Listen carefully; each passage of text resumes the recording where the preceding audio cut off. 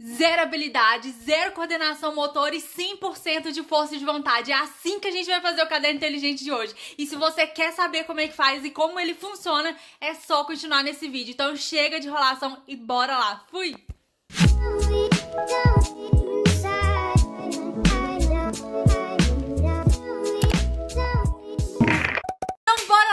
Caderno inteligente com materiais que você provavelmente deve ter na sua casa. Assim seja, Deus. Vai precisar gastar nada. Aqui em casa, no caso, eu tive que pegar a fita dupla face emprestada com meu irmão e ela custa R$1,99. Então, teoricamente, foi isso que eu gastei pra poder fazer o caderno inteligente. R$1,99 apenas. Mas se você tiver, você não vai precisar gastar absolutamente nada nem seu raciocínio, que o negócio é tão fácil de fazer que nem neurônio gasta. E ó, se esse vídeo aqui bater 400 likes, eu trago pra vocês mais vídeos nesse estilo, ensinando a fazer as coisas. Eu vou reformar o meu quarto e toda a decoração que eu vou fazer nele é tudo eu que vou fazer com as minhas próprias mãos. Eu estou montando estilo Pinterest. Então se vocês gostam desse estilo de vídeo, ensinando a fazer as coisas, me fala aqui em forma de like pra eu saber que vocês gostam de trazer esse conteúdo pro canal, beleza? Então chega de enrolação e bora lá fazer esse caderno. Fui! Então, gente, os materiais que eu vou usar pra fazer o caderno inteligente são esses aqui é o seguinte, vou usar um caderno. Caso você não tenha algum desses materiais, que no caso, eu não sei, provavelmente se você não tiver, vai ser ou essa fita dupla face, que custa dois reais, ou então esse furador. Isso aqui, gente, custa R$4,99 tem na Shopee, é fácil de achar.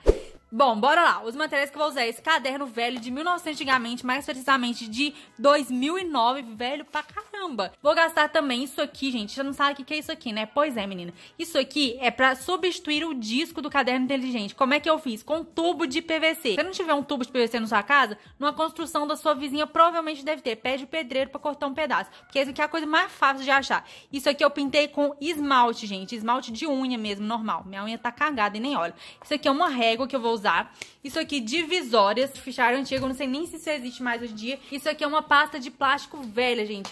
Essa pasta já tem uns 100 anos que tem aqui em casa. Ela tá toda acabada. Não tem nem um elástico desse lado. E olha o tamanho dessa pasta. É pra poder caber todos os meus papéis de trouxa. Mas enfim, gente. Vou tirar o elástico dessa pasta também pra poder usar ele. Então bora lá fazer esse caderno rapidinho. Fui! Então, gente, a primeira coisa que a gente faz, vai fazer para poder fazer esse caderno é tirar a capa desse caderno aqui todinha, a capa da frente e a de trás. Cuidado para você não estragar, tá? Pelo amor de Santo Cristo, porque eu tô avisando isso que eu já estraguei um tentando fazer essa coisinha aqui. Então, ó, vou cortar aqui, tirar toda essa capa aqui da frente, ó.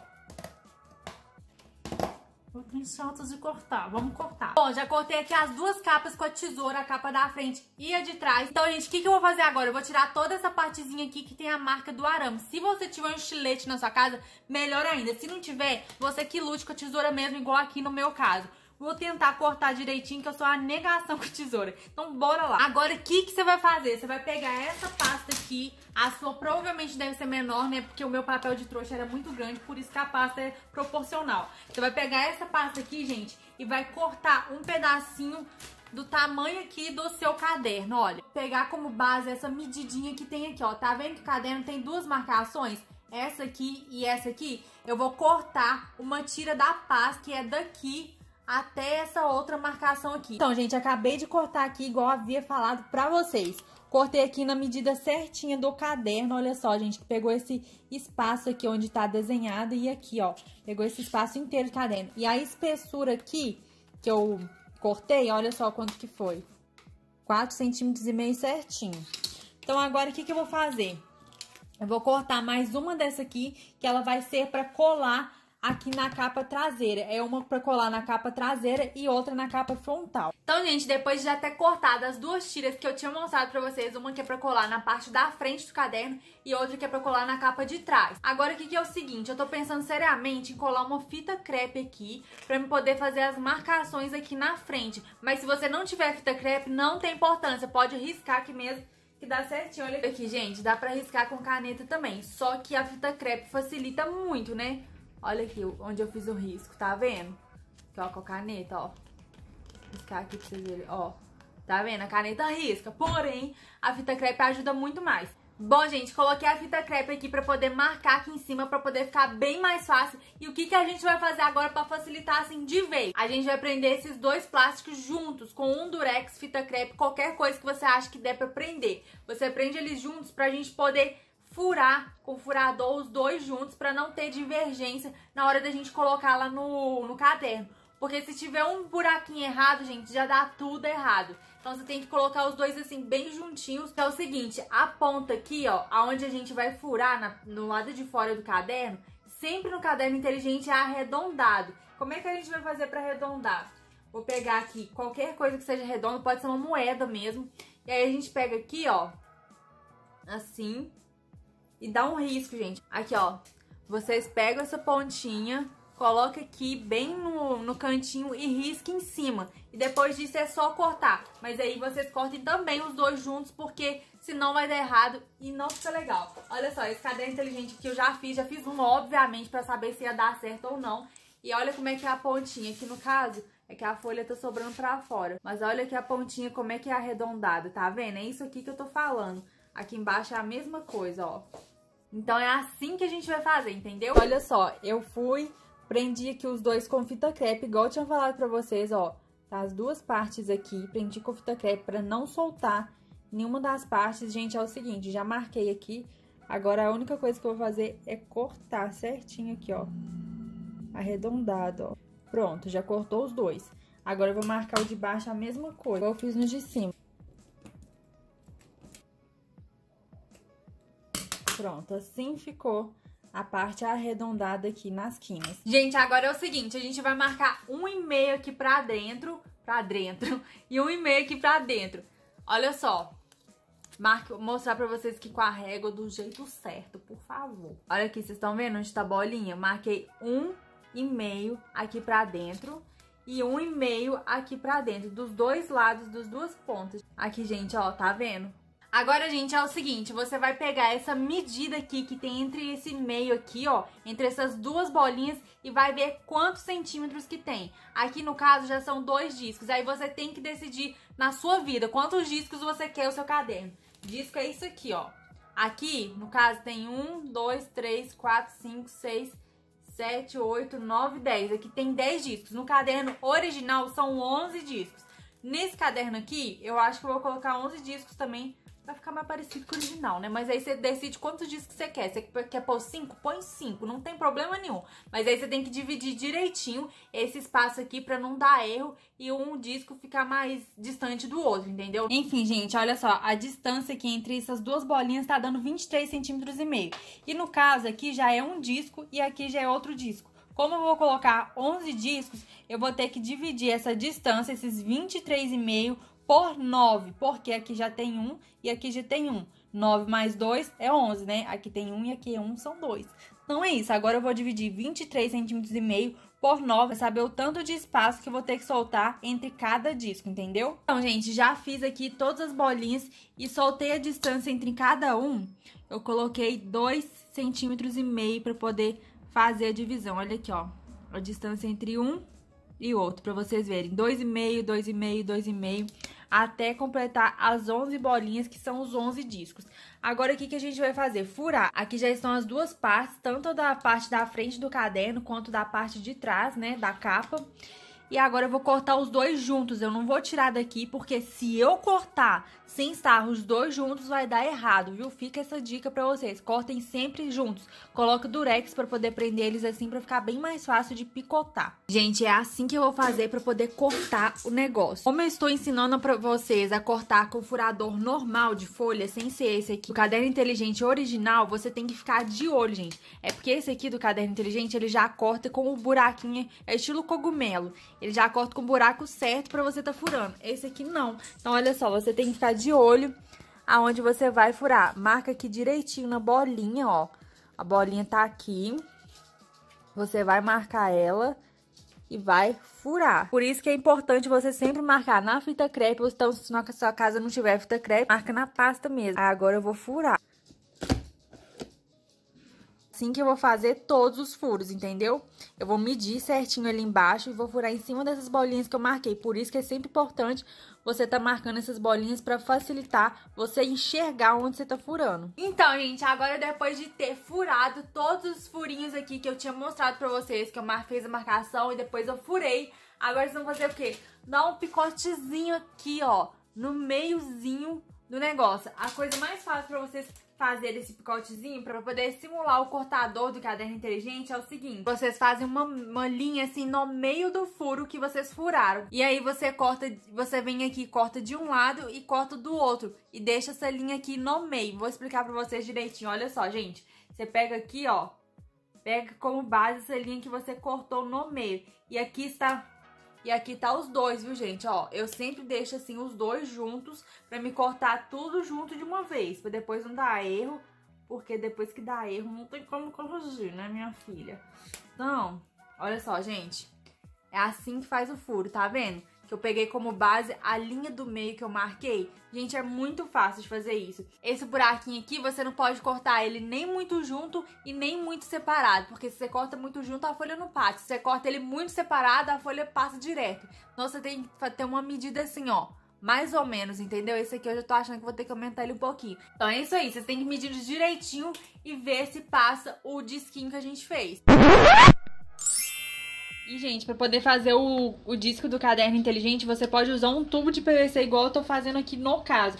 Porque tubo de PVC muitas pessoas devem ter em casa e é uma opção muito barata e econômica para poder fazer o disco do caderno inteligente. Então é o seguinte, eu vou marcar aqui a posição certinha, você coloca na espessura que você quer, ó.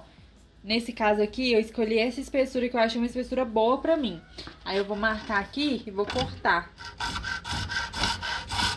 Depois de cortado, ele fica com essas rebarbas aqui, ó. Aí, o que, que vocês vão fazer? Lixar, né, minha filha? Põe a mão na massa e vai lixar aí, ó. Vai lixar tudinho. E aí, gente, ele fica nessa, desse jeito aqui depois, ó. Quando você lixa tudo direitinho, ele fica sem rebarba nenhuma e fica ótimo. E depois você pode fazer o quê? Pintar. Porque você não vai deixar na cor do tubo, né? Logicamente que não. A gente vai pintar e vai ficar bonito. Vocês vão ver como é que vai ficar depois. Fui!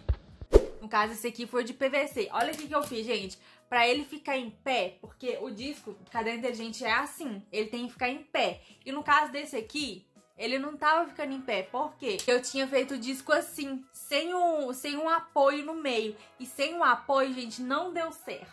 Porque olha como é que ele ficou, ele ficou caído. Olha só como é que ele fica, gente. Ele fica caído, entendeu? Ele precisa de um apoio para ele poder ficar em pé. Então isso aqui é uma borracha, borracha qualquer. Peguei a borracha, apoiei isso aqui e desenhei o círculo certinho na borracha. E aí cortei, enfiei aqui. Assim, gente, assim que vai funcionar. Você não precisa nem gastar com disco. É muito fácil fazer isso aqui, gente. Pelo amor de Santo Cristo. Inventa não é pra cabeça, não. Olha só. Desse jeito ele não cai, ó. Em pezinho, gente. Não precisa gastar com disco, entendeu? Você pode pôr a mão na massa e fazer o seu próprio disco. Agora, gente, é o seguinte. Depois de já ter cortado tudinho aqui, fiz o picotezinho aqui no meio, igual eu mostrei pra vocês. Sempre corte os dois juntos. Aqui tá preso com fita crepe, pode prender com durez, qualquer coisa que dá pra prender, você prende aqui. Agora vocês vão fazer o quê? Pegar uma... Eu não eu decidi colar com fita dupla face, não com cola, porque fita dupla face segura muito bem. E é dessas fininhas aqui. Isso aqui custa R$1,99, gente. É muito baratinho. Essa fita dupla face não é aquela que é que tem espuma, viu? É aquela fininha mesmo, parecendo um durex. Então, até dessa marca aqui de durex, ó, Eurocell. Aí você pega aqui, gente, cola a fita dupla face. Pego, eu sempre colo duas fitas dupla face aqui. Vou lá e tiro, né? O plastiquinho aqui da fita dupla face, afinal de contas, é fita dupla face. Ó, tirou a, o plastiquinho. Gente, sério, olha só bem pra minha cara, isso aí ia pagar 90 reais um caderno desse, mas é nunca, nunca, menino. É, comentaram no outro vídeo que tem caderno da marca Not Me. Mas a maioria dos lugares, gente, cobra frete pra poder entregar esse caderno. Não achei com frete grátis pra minha cidade. Com frete ia ficar 60 reais. Então, pra mim não compensa. É melhor eu fazer mesmo e gastar menos de 10 reais aqui em casa, entendeu? Esse caderno você faz rapidinho, gente. Juro pra vocês, não tem segredo. Só você pegar todas as dicas que eu dei nesse vídeo pra vocês. Então, gente, agora é o seguinte. Depois de você ter tirado aqui a, a plastiquinha da fita dupla face, você vai pegar a sua, o seu pedaço de pasta que você retirou da sua pasta e vai colar aqui, ó. Aí você cola direitinho. Geralmente, eu deixo aqui uns 2 centímetros pra fora, entendeu? Para poder segurar direitinho a folha e tudo mais.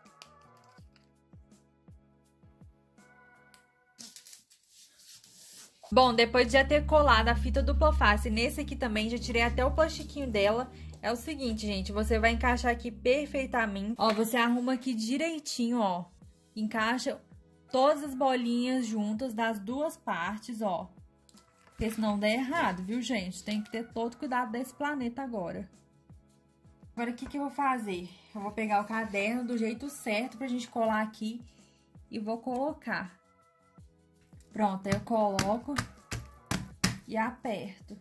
Agora, gente, é o seguinte, para finalizar o caderno inteligente, eu tirei esse elástico aqui da pasta transparente que a gente usou para poder fazer essa parte do caderno. E eu furei aqui, ó, a, a, capa de trás do caderno, essa partezinha aqui de cima, que até furei errado, mas finge que vocês não estão vendo. E aqui embaixo, furei com furador normal mesmo, aquele que a gente usou para fazer tudo. Enfim, agora eu vou enfiar aqui, ó. Nesse vídeo eu tô aproveitando tudo, né, como vocês podem perceber. Vou enfiar aqui direitinho, ó. Ela fica bem fixa, porque o elástico é bem justinho. E agora eu vou montar o caderno. Olha como é que deu certinho, gente. Dá muito, muito certo. Você não precisa gastar seu rim pra comprar esse caderno, não. Você pode fazer na sua casa. Agora você enfia todos os disquinhos assim. Tá vendo por que, que vocês não podem cortar esse meizinho aqui nem tão grande nem tão pequeno? Porque se você cortar grande, o disco não vai parar aqui. E se você cortar ele pequeno, ele não vai nem entrar, entendeu? Então tem que ser na medida certinha. Enfim, gente, assim ele funciona, ó. Tá rodando perfeitamente. E agora eu vou colocar algumas folhas aqui pra vocês verem. Você pode passar as folhas para o lado. E se você quiser tirar a folha daqui, olha que satisfatório esse negócio, gente. Você pega e simplesmente arranca a folha. Parece que você realmente tá arrancando a folha, né? E pra encaixar ela é só fazer isso aqui, ó. Empurrar ela aqui pra dentro, ó. Dá uma puxadinha. Dá a impressão de que ela não vai ficar fixa, né, gente? Mas ela não sai daqui, ó. Balançando o caderno pra vocês verem que fica fixa mesmo, não sai. E aqui eu vou fechar com o elastiquinho que eu coloquei e pronto, gente, o caderno está pronto. Eu fiz esses outros aqui também para poder usar. Esse aqui eu usei o disco do caderno inteligente original mesmo. Original assim, entre aspas, né? Porque eu comprei na Shopee. Foi baratinho esses discos, gente. Eu comprei 20 discos por 12 reais. Eu vou deixar o link na descrição se vocês quiserem. E olha só também, funciona perfeitamente o caderno, gente, ó. Esse também foi outro caderno que eu fiz. Da mesma forma que eu fiz esse primeiro aqui que eu ensinei pra vocês, eu fiz esse, esses outros dois.